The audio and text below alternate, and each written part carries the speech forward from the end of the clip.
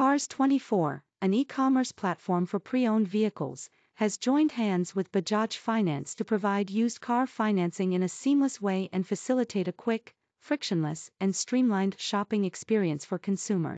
This move comes on the heels of Cars24 raising $400 million in a Series G funding round announced in December 2021.